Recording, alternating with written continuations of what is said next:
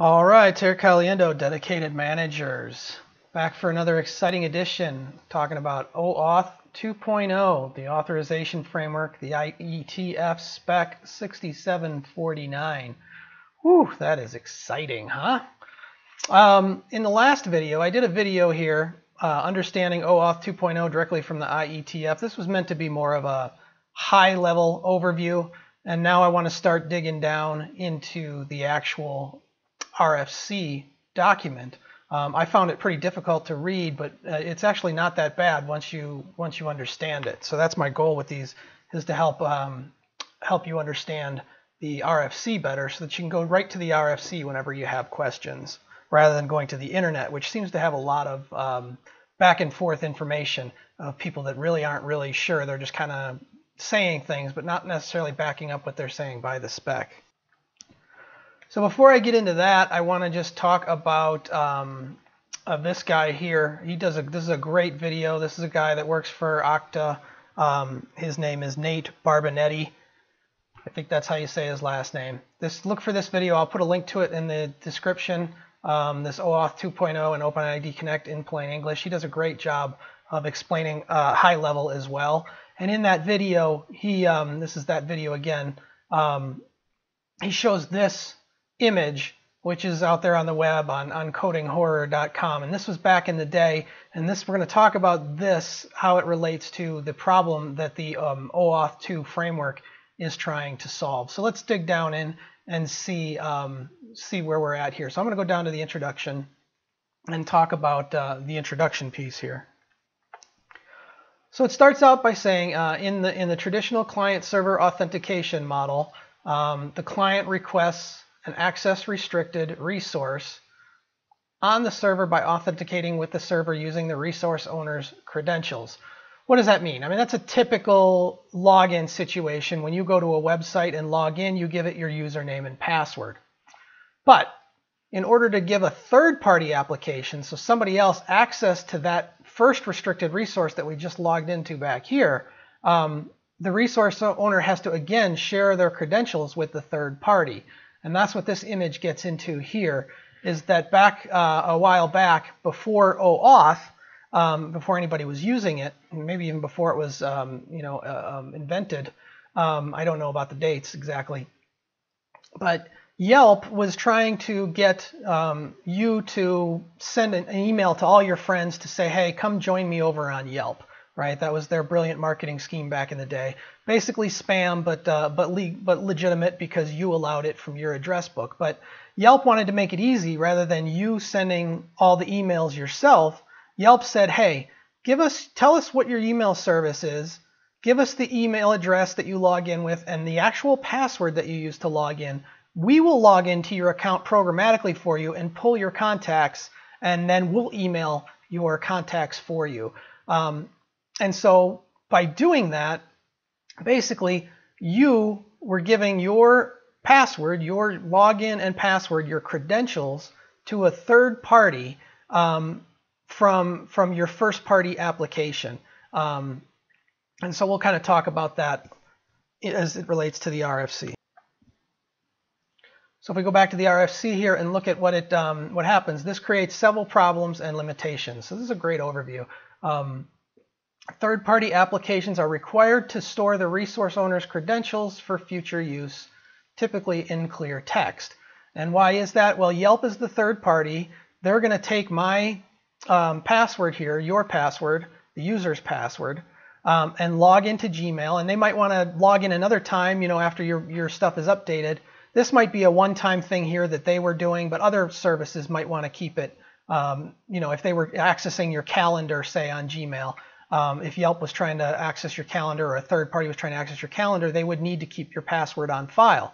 And at that time, Gmail didn't really have an API for third parties to access um, your calendar, your stuff. Um, maybe they did, maybe they didn't, but in this scenario, they didn't. Um, so the third party here would just create code that would log into the typical front end that you and I would log into manually, but the code would do it and then the code would click the links and get to wherever it needed to do, virtually click the links and actually maybe just call the right pages. Um, but it was kind of a hack, I think, back then. Uh, but in order to do that, each time they had to log in, they had to use your password. So um, they had to store it in plain text because if they encrypted it themselves with like a hash algorithm, they wouldn't be able to get it back to get it over to Gmail. You have you have to actually type it in in plain text to Gmail. So um, they had to store it in plain text. So now you've got your password uh, stored in plain text on this third party so that they can use it to get back into your account at another time. Um, then servers are required to support password authentication despite the security weaknesses inherent in it. So, um, you know, they're, I, I, think that's saying that, you know, this, again, this third party is, is having to support password authentication when, there, when there's another way to do it, as we're going to find out in the, in the um, spec. And then third-party applications gain overly broad access to the resource owner's protected resources. So again, the resource owner is, is you know, this the person, um, the resource owner is the person that's typing this stuff in. That's why he's got the credentials. Um, and and they've got so so they're giving these credentials to to Yelp, this third party, and now Yelp can go into Gmail and not only get your contacts because that's all they're asking for here, but they could also get um, your calendar. I don't know if there was a calendar at the time, but if there was, they could get your calendar information. They could see your actual emails. Um, there was no restriction saying um, when you gave them this username and password, there was no way to restrict from a from Gmail's perspective or a third party's perspective to say, hey, Yelp, you know, you can only get my contacts. You can't actually get my my actual email. So you know, don't go that far. Don't even try it. Um, so there's there's no you know they they they have the actual first party credentials, your credentials, so they can just log in and do whatever they want, uh, programmatically or however. There's no restriction and, and making them held accountable. Now, Yelp might be a good enough company that they wouldn't do that, but that's not to say that another third party might, you know, wreak some havoc, or even worse, you know, Yelp, uh, since they're storing your stuff in plain text, you know, if they get hacked, somebody can, um, you know, get in and get your your plain pat username and password and, and now you're hacked over on Gmail. Even though Yelp got hacked, you just got hacked on Gmail because your password was there. Um, so that's kind of what this is trying to, to alleviate. Then the next one is that the uh, resource owner, uh, that's the person that typed in the credentials, uh, cannot revoke access to an individual third party without revoking access to all third parties um, and must do so by changing the password. Um, so in this situation, if I don't want Yelp to have uh, access to my account anymore, if I'm this person and I don't want Yelp to have access to this account anymore, I have to go and change my password at Gmail.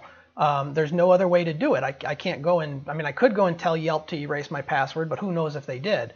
So there's no way for me to revoke access to them without going here to Gmail and changing my password. And now if I've also given my username and password to not just Yelp, but another service, um, you know, like draw.io, I showed in another one where they were saving stuff to my, my Google Drive. And, you know, if I have it out there, my username and password out on five different services, if one of those services gets leaked, um, you know, um, that password, it's, it's compromised to, it's, it's going to be compromised. So I've got five different ways for my, my credentials to get compromised. And again, if I'm on, if I've got it on my password on, on five different services, and I change my password here at Gmail, um, it revokes access to all five of those services because they all use that same password to get in, and now that password is no longer valid. So it's really ugly, um, and so that's why it, it it died quickly, and and you know this this token mechanism or this mechanism that we're going to talk about uh, came into being. And then this last one, the compromise of any third-party application results in a compromise of the end user's password and all the data protected by that password. So again, I just talked about that, that if you had Yelp and, and a bunch of other ones, um, and one of those gets uh, one of those gets hacked, now your password, um, you know, you've got all those five different ways, all those different ways for your password to get hacked, and now um, it's just more more ways for your for someone to get to your account. So that's the um, you know that's the reasons why why we don't want to use the, the password thing. So what's the thing that we're going to do to to circumvent that or to, to stop that problem? And so OAuth addresses uh, these issues by introducing an authorization layer and, and separating the role of the client from that of the resource owner. This is where we start to get into terminology that makes it hard to read this. But the client, the client is not uh, me with the username and password. The client is the application that's trying to access that third-party thing, and we'll talk about that when we get into the um, the next section in the roles.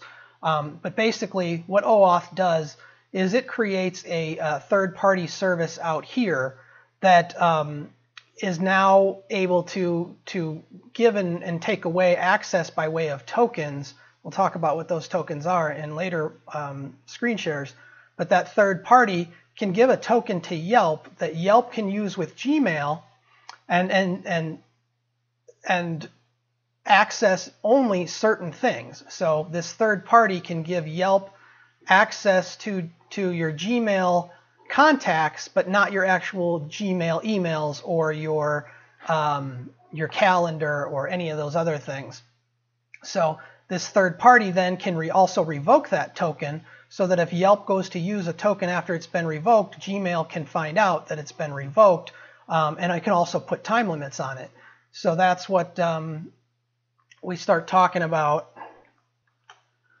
So that's where we start getting into this scope, lifetime, and other attributes that can be um, restricted by that third party. So the um, uh, in, an OAuth in an OAuth request, the client requests access to resources controlled by the resource owner and hosted by the resource server, and this is issued a different set of credentials. So um, you know, if I have Yelp and a bunch of other ones here, each one will get a different token. And if I revoke one of those tokens, I don't revoke the other ones. So just that one party loses access. So now you've got more granular control. And that token can also contain information about what's allowed to be accessed at the um, at the third at the the first party, the Gmail service. So then it, it, gives an example here that talks about basically the same things I just did in, in this picture here. So I'm not going to go over that, but it's basically the same thing about sharing, um, something about sharing photos with a photo service. So that is, in a nutshell, the, uh, the introduction here. So in the next video, I'll get into roles, and I think the roles are the most important thing to understanding, to being able to read this documentation, because I read this documentation four or five times um, and I just didn't get it until I finally really nailed down what the roles were, and, and specifically um, one of the roles that can change based on the, the the security of where that role is. So talk about that in the next video. So that's about it for this video. Um, that that helps. That's the introduction into why we need um, why we, we need to, to give this, this different type of access because just throwing passwords around is a, a terrible thing. So again, this is Terry Caliendo, Dedicated Managers, um, throwing out another another video on a Friday afternoon. Hopefully you took that. Hopefully that was understandable. Again, take everything with a grain of salt that I say. Sometimes I my mind thinking one thing and I say another thing. Um, I do these videos on a fly. Don't practice them too much, even though this is the third time I've done this video. Um, so just ask, ask any questions if anything's confusing in the comments. And don't forget to uh, subscribe to the Dedicated Managers channel here on youtube.com slash dedicated managers. Click the subscribe button. Follow us um, so that you can get more videos as I come out with more. Um, we'll go through the this spec and then I'll be doing some more stuff on, on some other projects.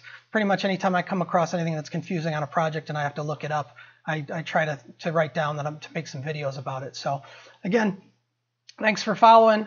Hope to see you in the next video. Terry Caliendo, Dedicated Managers, signing out. Have a great day. Happy programming.